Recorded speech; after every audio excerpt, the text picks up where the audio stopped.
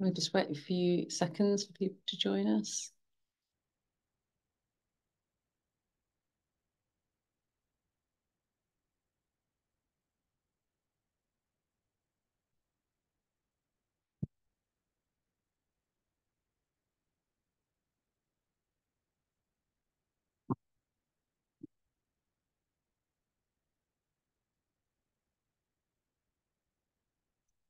Hey, good evening, everyone. Welcome to our webinar on hip replacement surgery. My name is Vicky and I'm your host this evening. Our expert presenter is Mr. Matthew Oliver, consultant trauma and orthopaedic surgeon. This presentation will be followed by a question and answer session. If you'd like to ask a question during or after the presentation, please do so by using the Q&A icon, which is at the bottom of your screen. This can be done with or without giving your name. Please note that this session is being recorded if you do provide your name.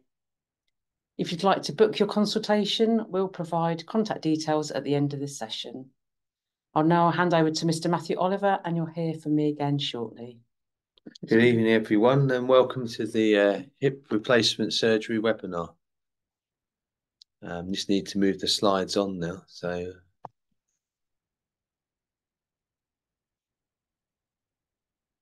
How do we move it on? There we are. So that's me, and um, I'm going to talk to you this evening about the hip replacement and everything involving it. So, including this session uh, is uh, all about me to start off with, then about Benenden Hospital and my um, expert orthopaedic consultant colleagues that work here with me. We'll then talk about uh, the causes, symptoms, and treatment of osteoarthritis of the hip. Uh, I'll then spend quite a bit of time uh, talking about hip replacement surgery and what's involved, the different types of hip replacement, the surgical journey, the recovery process, the risks and the benefits. And then we'll finish off with some information about patient support tools. These are available to help you with your decision making and to help you review um, the various surgeons that you may wish to, to use to do your hip replacement finally, then there'll be the question and answer session. So I look forward to taking those questions later. So um, I was appointed as a consultant trauma and orthopaedic surgeon back in 2010 to East Kent Hospitals. Uh, I started working here at Benenden in 2012.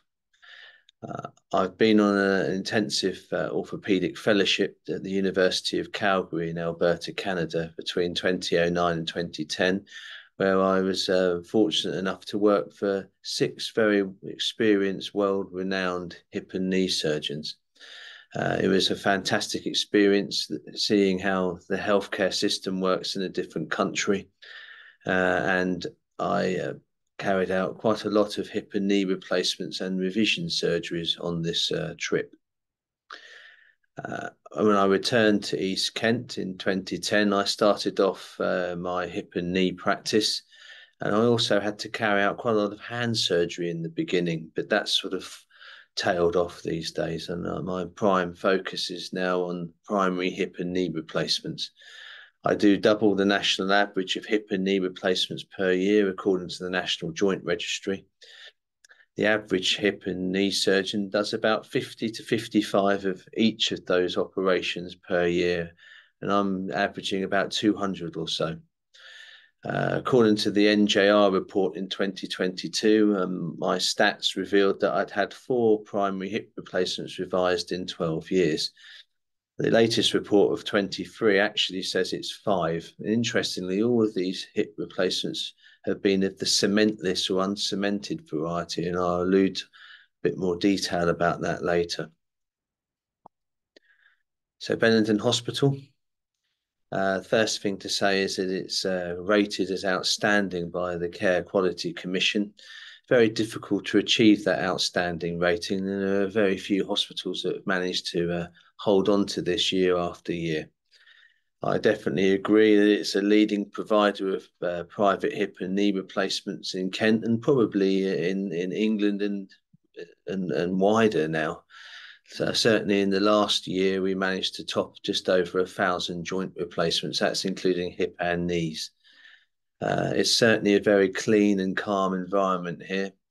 There's an excellent work ethic across the board from the, the porters, the cleaners, the, the, kitchen staff, the nurses, the scrub team, the, the administrative staff, the pre-assessment. Everybody is very much uh, um, happy to come to work and provide an excellent uh, service. On top of that, you have very experienced physiotherapists, and my orthopedic colleagues here have also got a wealth of experience in um, lower limb uh, degenerative conditions.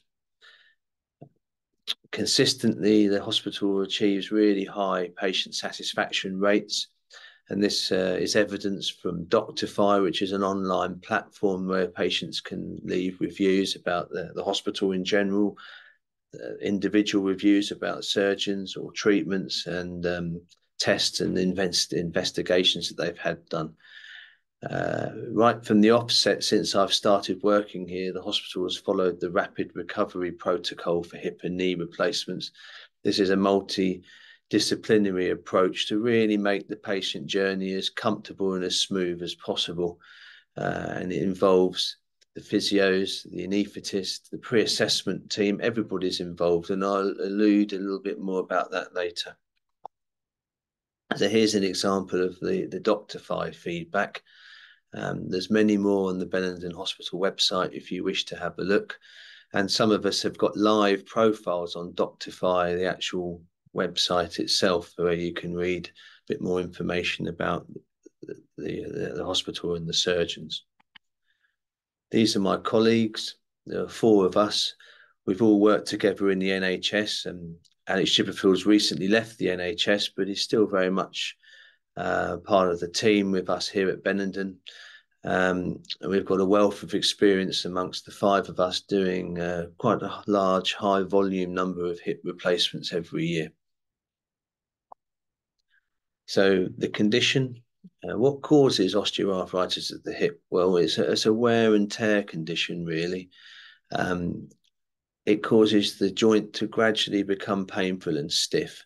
There are some risk factors that uh, bring the condition on. Uh, age is one of them, but that's not necessarily the case. Um, when I've replaced broken hips, uh, when the person's had a fall, some of these patients are in their 80s and 90s, and when we remove the ball from the hip joint, we're fascinated to see that it's actually in tip-top shape. Uh, it's the bone that has failed rather than the joint that has failed that has required them to have either half a hip replacement or a full hip replacement. So you can go throughout your life without really being bothered by hip arthritis, but that's lucky. Um, being a, a, female, unfortunately, slightly increases your risk of getting an osteoarthritic hip. Being overweight um, or obese definitely increases your chances because you're putting more weight through the joint and it will wear out quicker. You can injure your hip for a sports injury as a younger person. You can chip the bone, damage the cartilage, tear the lining of the joint known as the labrum, and if it's left untreated because you just think it's a bit of a groin strain, uh, then uh, that can act as a nidus for the problem to develop uh, later in life. There are other causes of the, the hip failing and becoming arthritic as well, such as avascular necrosis, which is when the blood supply to the femoral head um, becomes temporarily disrupted and sometimes permanently disrupted. Uh, that causes the, the bone to die, and the articular cartilage above the bone has no scaffold to support it, so it collapses inwards, and the head becomes deformed and misshapen and very painful. Yeah, inflammatory arthritis, um, such as rheumatoid, psoriatic arthropathy, and gout, can also give you an arthritic hip, but we don't see very much of that these days because those conditions are so well treated with medications. So the symptoms of osteoarthritis of the hip, the first thing I, I believe people notice um, is just a general feeling of stiffness in the groin. They may be seated for a while watching a movie or having dinner, and they get up, they just have a slight catching sensation and feel that the hip is a little stiff, and then it momentarily passes and everything's back to normal again some people present with a um, feeling of uh, like a, a, groin strain and go and have some physio and it sort of semi settles down. But as the condition develops, uh, the pain gradually increases um, the stiffness in the joint increases as well. And you'll notice that you can't do some things that you could have done in the past easily, such as put on your shoes and socks or clip your toenails, get in and out of a car, uh, run up the stairs, things like that. As the things move and progress, you'll notice that you'll start to walk with a limp and you won't be able to um, take part in more vigorous activities such as a, a hike or walking around the golf course or or um, other sort of strenuous um, activities. Uh, if you leave your hip too long, um, you'll be significantly um, hampered by it, and you may notice it making all sorts of funny noises like a grating or crackling sound. That's usually quite an advanced uh, osteoarthritic picture, and those patients don't necessarily have that much pain in the groin anymore. The pain is transferred to the knee joint of the same limb.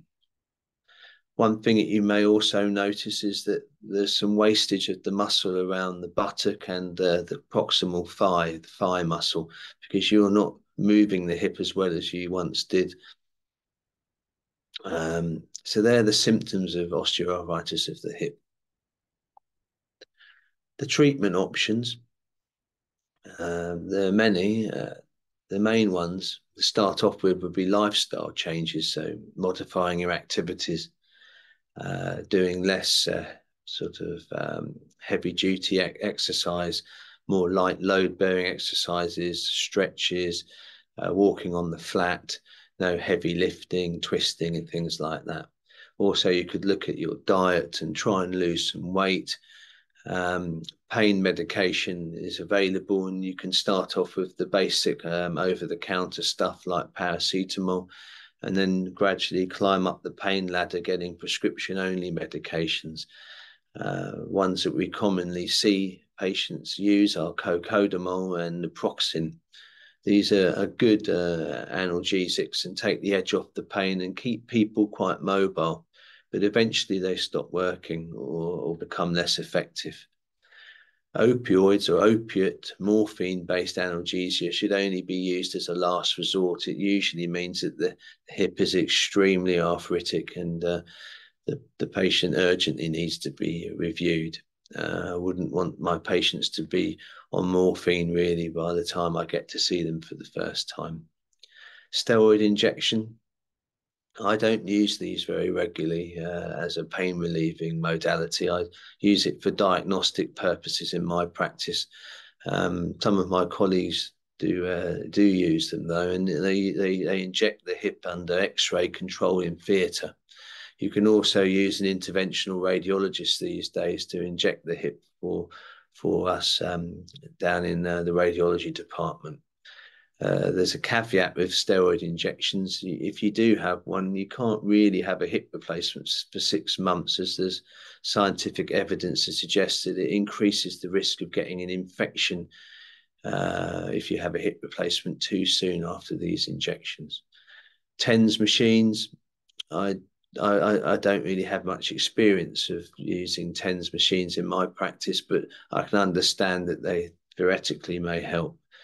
Hot packs um, and ice packs. Certainly, a heated pack is quite soothing after a busy day if you've got a, a throbbing joint. Ice packs are more uh, used after the uh, hip replacement to take the, the swelling down. Uh, definitely some benefit in using a stick held, held in the opposite hand so the opposite leg. Uh, so if you've got an arthritic left hip, you hold it in your right hand. This reduces the joint reaction force through the um, poorly leg and therefore takes quite a bit of the discomfort away.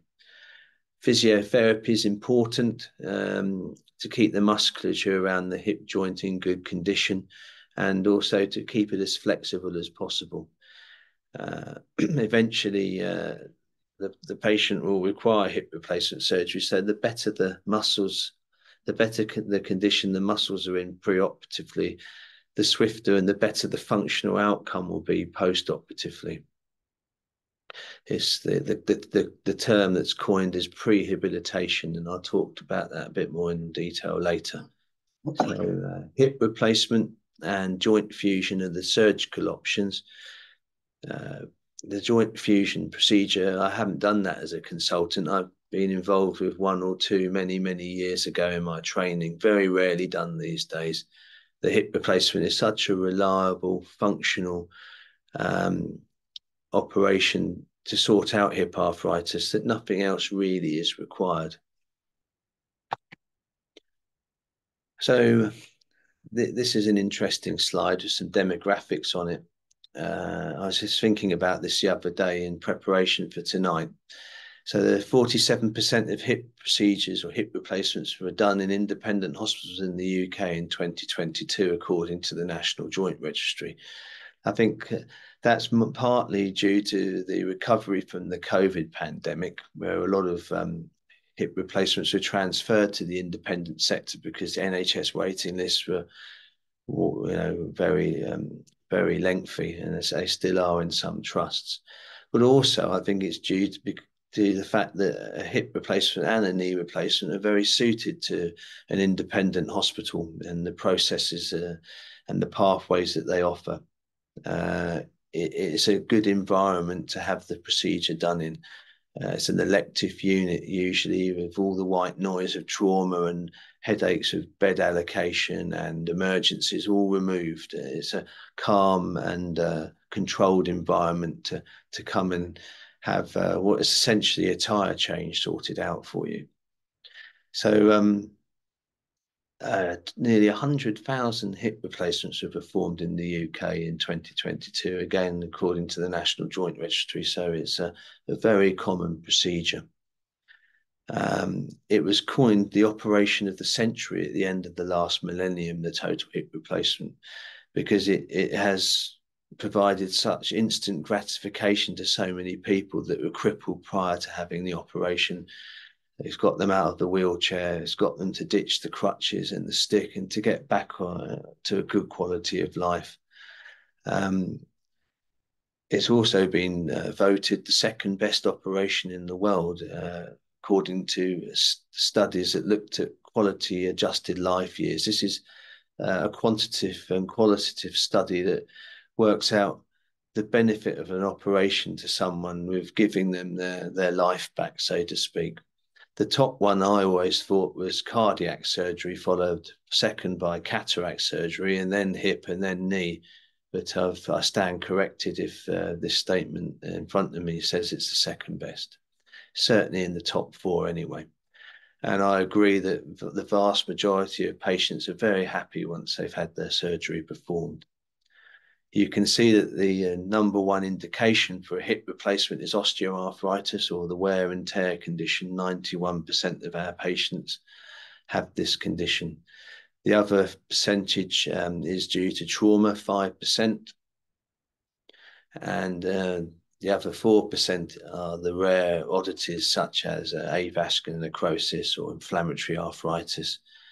Um, 60% of the cases uh, are ladies, and the average age is about 68, 69. Uh, the average body mass index is 28.7.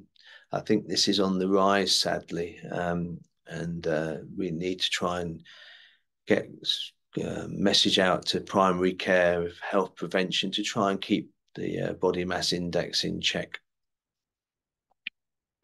So, what is a hip replacement? There's there's a very basic diagram of one there showing you all the relevant parts. So you have a shell or an acetabular component. That's usually uh, in the modern era made of titanium, and it has a grit blasted surface of um, hydroxyapatite on it or plasma. Uh, and that encourages your natural bone to recognize it, and then your natural bone grows into it over a period of a few months while that process is happening, it has to be press fit firmly into the natural acetabular socket. And we prepare the socket carefully to ensure that happens. Inside the shell or the, or the acetabular component goes a plastic liner. The one that I like to use with the uh, G7 shell here at Benenden has vitamin E in it. And that's supposed to sweep up all the free radicals in the area, uh, which um, helps preserve the, uh, the the plastic or polyethylene and means that it doesn't corrode or or uh, degrade so quickly. And then you have the femoral stem. That's normally made out of titanium if it's a press fit stem. And again, it's coated in hydroxyapatite or porous coating. The stems that are for cemented use are usually made out of cobalt chrome and are highly polished. Uh, you have different femoral heads. The, the ones that are commonly used here at Benenden are made out of ceramic. Uh, you can also have a cobalt chrome or metal head, and they come in various sizes depending on the size of the socket used. So, how do you know if you need a hip replacement?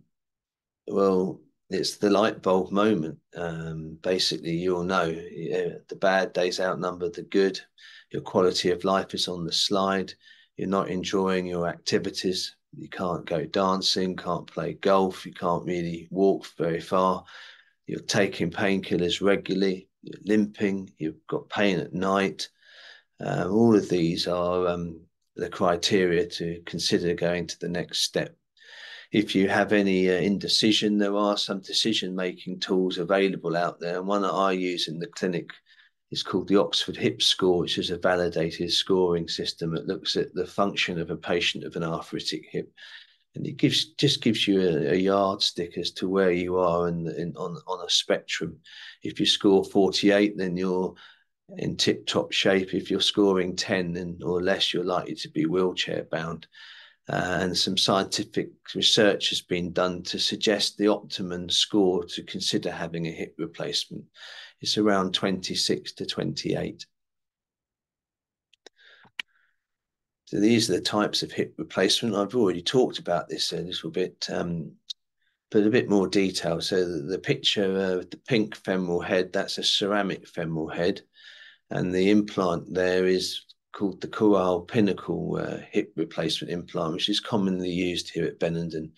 It is um, made by the company DePuy and uh, is uh, freely available throughout the world. It's an extremely popular hip replacement with an excellent clinical heritage and survivorship.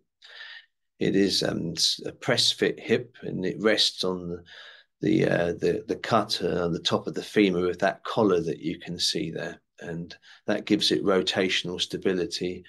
Uh, and over time, your bone bonds with it. Uh, the other hip on the uh, the shiny hip on the top uh, left of the, my screen there's a, a, cemented hip replacement. There's a highly polished stem there, and I think that's the Exeter hip. Uh, and you can see it's got a little um, centralizer at the bottom there to ensure that it goes in the correct position in the patient's femoral canal so the cement goes around it in an even manner. Uh, that's known as a cement mantle. The other hip replacement used here regularly at Benenden is the Taperloc system with the G7 shell. That's my favourite one, and that's been around for many, many years with excellent clinical survivorship.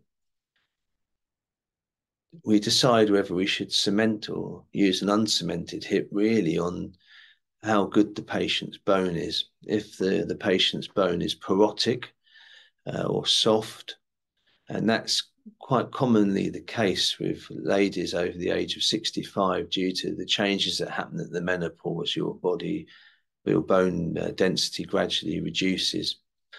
Um, then it's uh, best practice according to various guidelines like the National Institute of Clinical Excellence to, to use a cemented femoral stem the uh, the shell doesn't have to be cemented. It, you can still have an uncemented press fit acetabular component that works well. Um, so what's involved during a hip replacement? You uh, have to have a, an anesthetic. Usually it's a spinal anesthetic where you have a needle in the back which numbs you from that level downwards.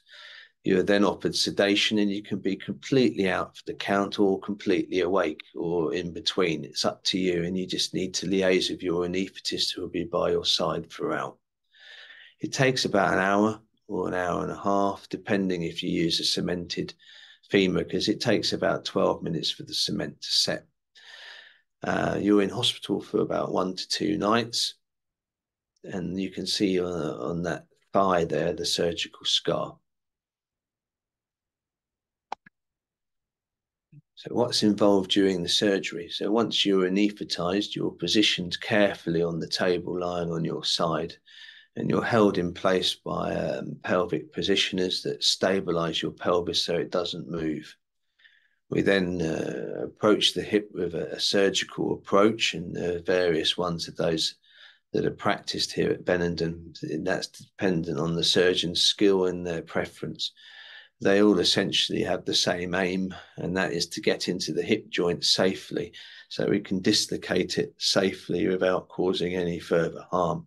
Once the ball is dislocated out of the socket, it is removed with a saw, and then we start the preparation of the acetabulum by tidying up all of the cartilage that sits around the, the rim of the acetabulum. That's called the labrum.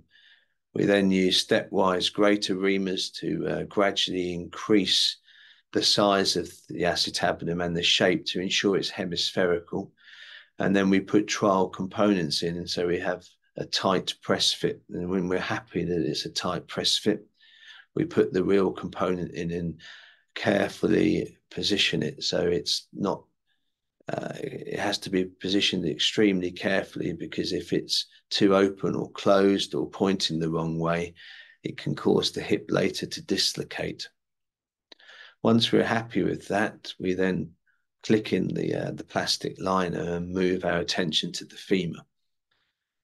The femur is prepared in a similar manner using uh, stepwise progressive sizes of um, broaches to shape the femoral canal to get a press fit if we're using an uncemented hip or to um, get a, a, reasonable press fit for the, the trial femoral component if we're going to use a cemented hip. Once we've got the trial femur in place, we then try different offsets. That means uh, looking at different femoral neck angles to ensure that the muscle tension in the hip is balanced and like the native hip once was. We want to try and replicate the native hip biomechanics. We then pop a ball on top of the offset trunnion and then reduce the hip back into the new socket. It's then put through a range of motion um, to make sure it doesn't dislocate. Leg lengths are checked and uh, muscle tension is checked. And if we're happy, we'll ask our scrub nurse to provide us with the real deal, which are the sizes that we've just trialed, and then they'll be fixed in place, either tapped in if it's uncemented, or grouted or cemented in if it's a cemented hip replacement. So here's some post-operative X-rays. Um, the, the, the pelvic X-ray showing both hips uh, that reveals a hybrid hip replacement on both sides. The femoral stems have been cemented in place and the sockets or acetabular components have been press fit. You can see that the the uh, the light grey fluffy sort of appearance around the the white femoral stems that's the bone cement and there's good interdigitation there with the bone and the implant um, uh, and you can see that the the acetabular components are well positioned and there's no fresh air between them and the, the bone behind them. So they're, they're firmly fixed in or press fit in. And on the other side, that shows you the Corail Pinnacle hip replacement, which is the uncemented version. You can see the collar at the top of the femoral component resting on the top of the femur. That gives it initial rotational stability and stops it from sinking while your bone grows into it. so the recovery period, well, if you've had your operation in the morning, it would be fantastic by lunchtime or just after lunch to to take your first steps, and the physios will be keen to try and achieve this with you. Um, your first steps will be with um, a frame, and then you'll rapidly progress to crutches. And uh, you should have confidence that you should be able to put full weight through the hip once your leg has woken up you will have some discomfort, but the modern anesthetic techniques uh, mean that it shouldn't be too bad the first day or so. Uh, most patients in the recovery suite after the operation uh, have uh, an extra injection placed into their hip joint known as a fascia iliaca block, which uh, prolongs the um, the pain relief following the spinal anaesthetic, and it works really well.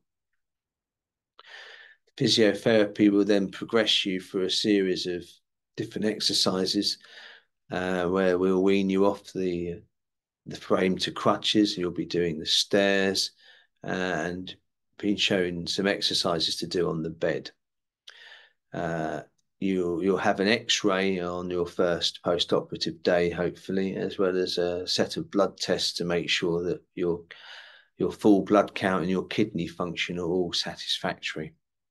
You should be eating normal food again and and being quite comfortable. Pain relief is available uh, on your drug chart, and you'll be nursed one to one. You should receive physio at least twice uh, each day that you're on the ward with us here. Your surgeon should see you on the first post-operative day as well, along with the um, the RMO or the resident medical officer that looks after the ward. We'll only let you leave once you're safe, uh, and we'll provide you with some extra kit such as a toilet seat raise and a frame and crutches if needed. As mentioned earlier, you'll be shown to how to safely go up and down the stairs.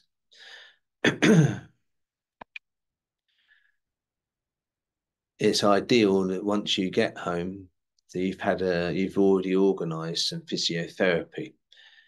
Um, depending on what pathway you've chosen to to go through with um, Benenden to have your hip, the physio and, and if you live reasonably locally, you'll be able to use the physio service here. If you're more out of area, I'd certainly recommend either through your NHS GP or if you can do it privately, uh, setting yourself up with a physio for one to one from about the first week or so post op, just seeing them once a week to check in to make sure you hit the milestones. It really does make a big difference. You should be starting to wean yourself off the painkillers after the first couple of weeks. However, in the first couple of weeks, especially, you'll feel very tired, and this is the time to just recharge the batteries eat and drink well, and just concentrate on your exercises. You'll notice that your leg will be swollen and you'll be bruised from your buttock, sometimes all the way down to your little toe. That's quite normal. It's partly due to the trauma of the operation and partly due to the blood thinning medication that we give you for a couple of weeks um, to reduce the risk of uh, deep vein thrombosis. Um, I use dissolvable stitches in my practice, so I'd require my patients just to have the dressing changed at about seven days at their GPs for a fresh one, and then uh, you shouldn't have to worry about anything else after that because the stitches will just dissolve. By six weeks, you should be walking around the house with a crutch or furniture walking, and outside, you're probably still on a crutch or two crutches. You should be able to, to start driving your car again and you'll have a follow-up appointment with your surgeon where you'll have your wound checked and your milestones checked to make sure you're progressing satisfactorily. I would say it takes a minimum of about three months to get over the hip replacement to enable you to return to activities such as playing golf, swimming, and uh, more energetic activities. so a life after a hip replacement is pretty good on the whole. There's always going to be a few patients that unfortunately have some chronic pain, but the, la- the vast majority of people, their lives are transformed and uh, they're so much better.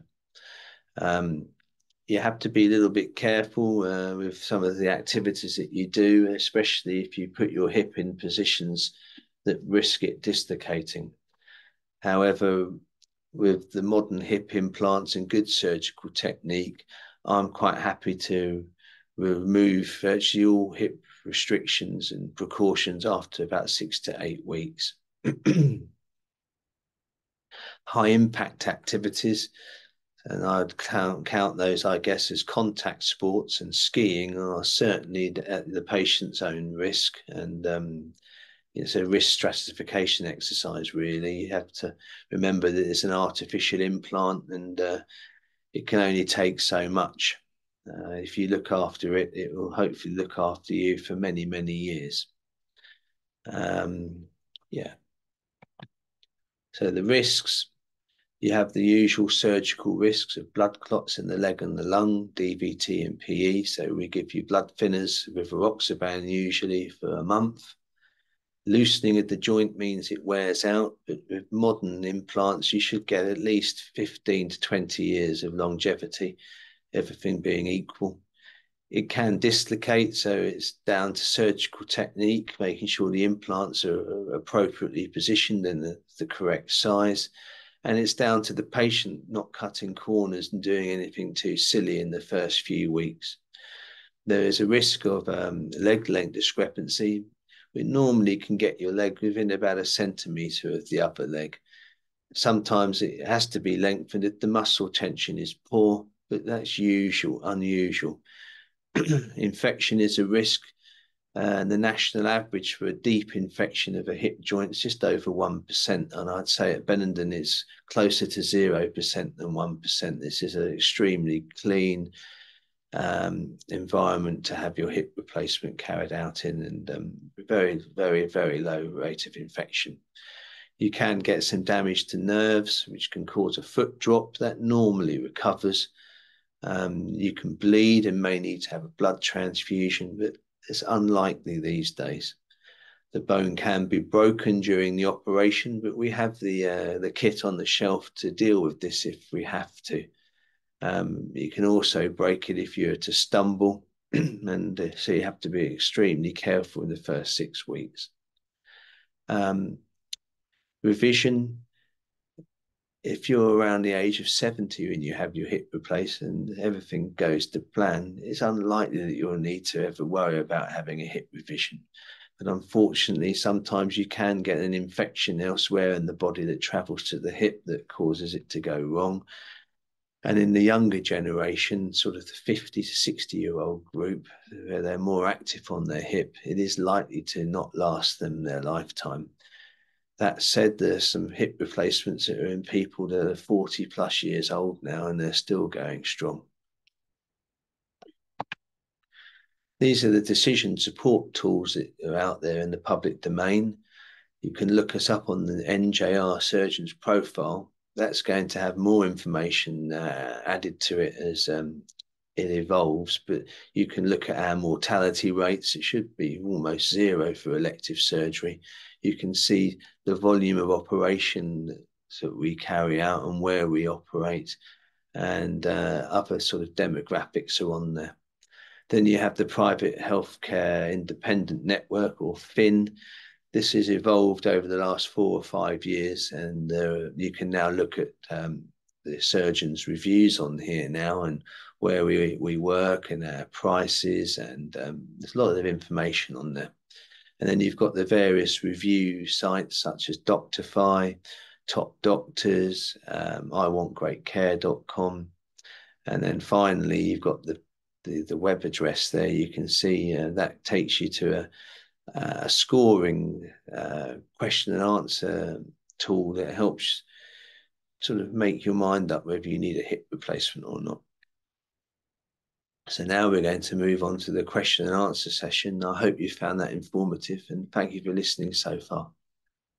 Thank you, Mr. Oliver, for that interesting presentation. Um, we'll now take some questions. Um, so we've got um, plenty of time, so please do um, ask away.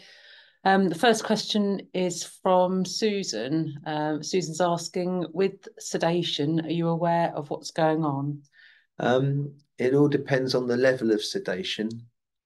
Uh, if it's very mild, then you are aware you can hear some of the background music that's in the, going on, or the surgeon and the anaesthetist talking, and you can hear some some of the instruments being used. But if that distresses you, you you can let the anaesthetist know know, and the level of sedation can be increased.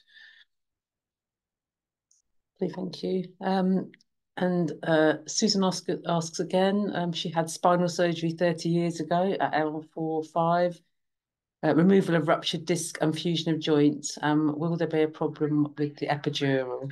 This, um, this is an interesting question. Um, it's normally best to ask the anaesthetist this question at your pre-assessment. However, I do know that the spinal anesthetic is usually administered at a higher level than L4, L5, around L2. So it should bypass that problem uh, and it should still be able to be uh, effective. Lovely, thank you. Um, Carol asks, do you have to wait uh, six months um, as she's had a fluoroscopy injection? If you've had a steroid injection into the hip, um, either through fluoroscopy or ultrasound guided, then it's best practice to wait six months before having the hip replacement. Uh, there is some evidence out there to show that if you have it done too soon, then you could have an infection in your hip. You have to wait for the steroid to to go away, I guess. Okay, thank you. Um, somebody's asked here: Is running considered a high risk uh, sport post surgery? I think you can uh, definitely get back to a bit of jogging, but I don't think you'll be able to run uh, um, or sprint or anything like that any any significant distance. Um, it, it, yeah, you should be able to jog after a hip replacement. It depends on the age and uh, the patient and um, what the upper hip's up to and uh, aches and pains elsewhere. But the more cycles you put your hip through, the quicker it will wear out. So you just have to be mindful of that. Okay, some words for all the runners out there. Um, somebody else has asked, am I able to have a hip replacement within a year of a knee replacement? No problem. Yep, that can be done. Right, it's nice and simple. Um, Paul has asked, after the surgery, will the patient be able to sleep much during the night? Um, in the hospital, you mean? Mm. The first night post-op is a challenging one for patients because they have to wear foot pumps on their feet that bleep every five minutes. They squeeze the calf muscles um, to try and reduce uh, the risk of deep vein thrombosis. Um, and they, they disturb the patient's sleep the first night. You can request to have them removed at your own risk, and they're only used until you get mobile. Once you've started to walk about, they can be discarded. Okay, thank you. Um, just go back to um, post-op activity. Jennifer's asked, is yoga considered a risky activity post-op? Uh, I think uh, some of the positions in yoga you'd have to be careful with. Um, I don't practice yoga myself, but I know you can get yourself into all sorts of shapes and positions. So, but um, yeah, I think you can get back to yoga as long as your yoga instructor knows you've had a hip replacement. Then it can be tailored to you the the yoga course yeah, makes sense. Um, somebody has asked, um, I've been diagnosed with moderate osteoarthritis three years ago in my hip, but I only have pain in my knee, which locks up when I sit down for a while. I cannot now put on a shoe on my right foot or cut my toenails, etc. Is this my hip or my knee? I, have got a strong suspicion that that's your hip. Um, when your knee stiffens up, you should still be able to cut your toenail. Um, it's the lack of hip flexion that prevents us from getting down to our feet. Uh, and when the hip arthritis is bad, the a lot of the pain is transferred to the knee. Okay, that's useful to know. Thank you. Um, Judith asks, my pain is more in my buttock and leg, yet my consultant thinks it's coming from my hip. I have bone on bone arthritis and now need a hip replacement. Is it really possible that the excruciating pain in my buttock is from my hip? Everything else has been ruled out. It's very likely to be the case that it's your hip joint that's causing that pain. Yeah. Okay. Right. Hopefully that's helpful, Judith. Um, somebody's asked, how long post surgery should you avoid stairs? Oh, you can. Uh, I don't want you to avoid stairs. You we we we we practice you on the stairs uh, as soon as you're able to manage your crutches. The physios will get you to run up and down the staircase with them, not literally run up and down, but they'll give you lots of practice. So yeah, stairs are fine. If you've got lots of, uh, if you've got a tricky staircase at home and you have the ability to have ground floor living, then that may be the safest bet. But please practice the stairs every day until you get competent at them. Okay, some good advice. I thank you. Um, Michael's asked, I have a low platelet count. Would this complication be a problem for Benenden Hospital? It just depends on how low is low. Um, uh, we don't have any uh, medical backup here, but if it was, I think um, if you have a platelet count of 80 or less, it's quite risky to do a spinal anaesthetic. Because you can have a hematoma in your spine. Um, so you may need to have a platelet transfusion, and that might be challenging to arrange at Benenden because uh, they they come as a, fresh frozen packet. So getting the timing of surgery is going to be a bit challenging. So that might be challenging. Something to put to the anaesthetists. Yeah, sure. Okay. Um, Kairini, I hope I've pronounced that correctly, asks, can you sleep on the operated hip post-operation? Ideally, you should sleep on your back for the first six weeks. And I don't recommend my patients sleep on their operative side for about three months because it can flare up the scar. Um, it's uncomfortable during the healing process. So after six weeks, I'm happy for them to sleep on the non-operative side with a pillow between their knees. It stops their legs from crossing over. Okay, great, lovely, thank you. Um, I've got quite a lot of sporty people on the webinar tonight. So Ken's asking, and um, what about Pilates and cycling? I assume cycling's fine. Yeah, they should be able to get back to a good good level of cycling. Pilates, similar answer to the yoga, really. Have to just let your instructor know and be careful with the the hyperflexion uh, maneuvers, I guess. But I shouldn't think it'd be a problem. Okay, uh, and on that same theme, um, Dickon asks, I play national, international table tennis for over 40s and over 60s. Can I return to this intensive activity? I think you can, yeah, that should be okay. Great, it's good to hear. Um, just a couple more questions. So Robert has asked, when I saw the anaesthetist, he put my operation on hold out some concern for my heart. This has been investigated through the NHS. Is this common amongst patients? Um, unfortunately, it's not common, but unfortunately, because of the location of Benenden and the fact that uh, we don't have any high dependency uh, unit facilities and um, medical on call services, then uh, you need to really be in good medical shape, a good good you know tip top shape to have your operation here. If the heart condition can be sorted out, such as an irregular heartbeat made regular again, or a pacemaker can be fitted, and then uh, then you can return to Benenden. But if if you've got significant comorbidities, it is better off having your operation in the NHS with all the medical backup. Okay, great. Hopefully that's helpful. Um, last question we've got here is I've been told by an NHS consultant I'm too young at 57 to have a hip replacement as I need a revision in later life and revisions don't go well. What's your view? Um, I think if your hip is very worn out at 57, it would be miserable to leave you in that state to wait until you're, say, 50, 67. It would be just not fair.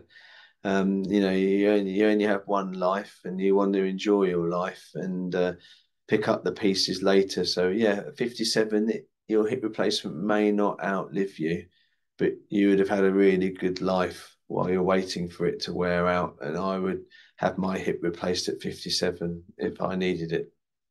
Okay, lovely. Yeah. Thank you. Um, so thank you, everyone. Um, if anyone's got any other questions, um, sorry if we didn't answer them. If you provided your name, we'll answer them via email. And uh, Mr. Oliver, if you could move on to the next slide. Thank you. Um, so as a thank you for joining this session, we are offering you 50% off the value of your initial consultation. Call back from your dedicated private patient advisor. Um, an email tomorrow with a recording of this session and further information on how to book and updates on news and future events at the hospital. If you'd like to discuss or book your consultation, our private patient team can take your call until 8 p.m. tonight or between 8am and 6pm Monday to Friday using the number on the screen. We'd be grateful if you could complete the survey when this session closes to improve our future events. Our next webinar is on lower limb sports injuries, which you can sign up to on our website. So on behalf of Mr. Oliver and our expert team at Benenden Hospital, I'd like to say thank you very much for joining us today, and we hope to hear from you very soon. Thank you. Goodbye. Bye-bye.